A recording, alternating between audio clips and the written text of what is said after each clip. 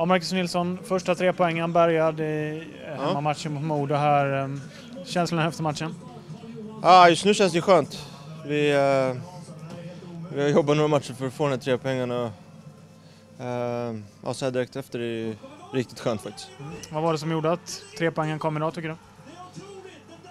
Ah, det är svårt att säga men vi, vi började för första nedsläpp och så körde vi bara. Så mycket vi orkar framåt och hemåt och hit och dit. Uh, uh, ja, vi spelade bra stora delar av matchen tycker jag. Några dammperioder men uh, ja, så länge man vinner. Mm. Ja, det är en bra start på matchen som du säger jämfört med de andra matcherna. Hur viktigt, viktigt är det att få den här starten tror du? Ja, alltså det, det är väl viktigt. Vi behövde ju det eftersom vi kanske inte gjort en enda bra start på någon match hittills. Så, uh, ja, vi gick ut och bara skit i vad som händer, nu kör vi bara. Så det, det är väl så vi ska spela, verkar som. Speciellt mål fick du göra också. Berätta om målet. Jag kommer inte ihåg så mycket faktiskt. Jag såg deras målvakt eh, skjuta iväg pucken och tänkte han har inte så många ställen att skjuta den på.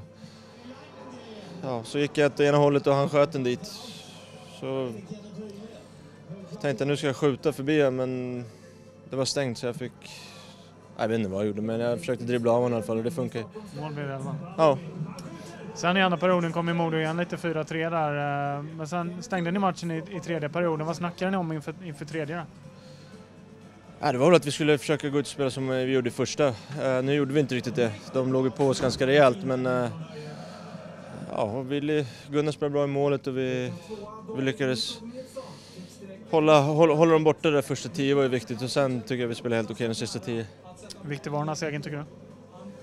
Ja, den är väl lite extra viktig i och med starten vi har haft men uh, det är fortfarande bara en match liksom. Det, nu, nu är det lördag som gäller. Bra. Mm. Det är inte torsdag som Torsdag är det som gäller. Jag går händelserna i förväg. Nej, det är ju jätteskönt naturligtvis och det, det känns väldigt bra att få ta med oss de här poängen tycker vi. Vi har jobbat stenhårt här på varje träning men det har grinat oss lite i ansiktet och gått lite emot oss men det är väldigt skönt att få med oss de här poängen idag, väldigt viktigt. Vad ser du var nyckeln till framgång ikväll?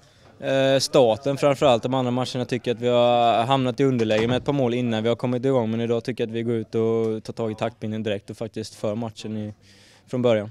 Ja, hur viktig är den här starten tycker du?